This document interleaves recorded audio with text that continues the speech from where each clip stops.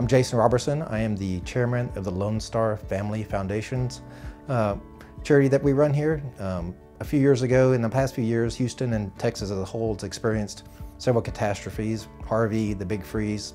We noticed that it caused a lot of financial burdens on our employees, and we wanted to help. So uh, we tried different things in the past. We heard about this uh, through another company a couple years ago and decided to implement this program. Um, so that's the Lonestar Family Foundations was born out of that. We reached out first, we reached out to our vendor partners, we reached out to employees, um, and after all, then we also do company match. We had a great response from our vendor partnership and employees too.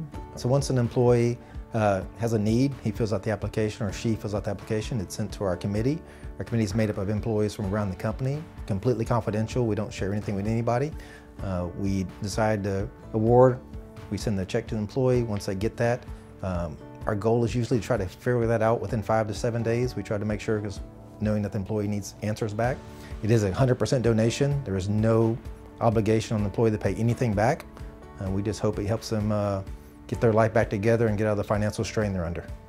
We always try to say the old cliche, we're a family, but we want to try to be. We want to try to help our employees the way we can and get back to those who help us grow and help us be who we are.